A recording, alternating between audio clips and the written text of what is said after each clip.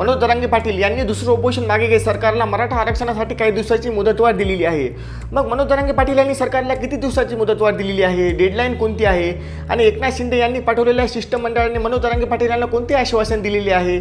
आणि डेडलाईन संपल्यानंतर मनोज दरांगे पाटील यांचा इशारा काय असणार आहे? माहिती का? नाही ना मी कशाला आहे? मी सांगतो. ऐका मराठा आरक्षण मिळेपर्यंत ही लढाई असं सुरू असणार आहे. मात्र मी सरकारला अजून काही दिवसाचा वेळ देतोय मुदतवाढ देतोय.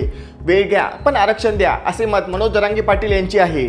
नाहीतर पुढच्या लढाईसाठी तयार राहा असे आव्हानही मनोज दरंगे पाटील यांनी सरकारला केलेले आहे. चोवीस डिसेंबर नंतर सरकारला एकही दिवस भेटणार नाही एकही तास भेटणार नाही असे मत मनोज दरंगे पाटील यांनी सरकारने पाठवलेल्या शिष्टमंडळाकडे केले.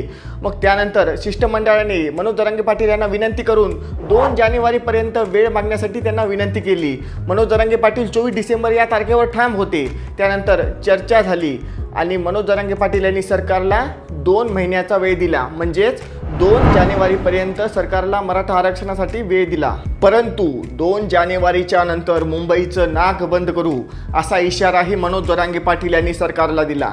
त्यामुळे मुदतवाढ मागून घेण्यामध्ये सरकारने पाठवलेल्या शिष्टमंडळाला यश आले आणि मनोज जरांगे पाटील यांनी पंचवीस ऑक्टोबरपासून सुरू केलेले उपोषण मागे घेतले. सरकारने पाठवलेल्या शिष्टमंडळाने मनोज जरांगे पाटील यांना मराठा समाजाला टिकणारे आरक्षण देण्याबाबतीत सरकार प्रयत्नशील आहे आणि येणाऱ्या आठ डिसेंबरला सरकार विशेष अधिवेशनही घेणार आहे असे आश्वासन मनोज दरांगे पाटील यांना सरकारने पाठवलेल्या शिष्टमंडळाने दिले.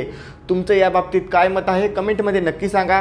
हा जर का व्हिडिओ तुम्हाला आवडला असेल तर लगेच व्हिडिओ लाईक करा शेअर करा इंस्टाला फॉलो करा आणि चॅनलला प्लीज प्लीज प्लीज लगेच सबस्क्राईब करून टाका.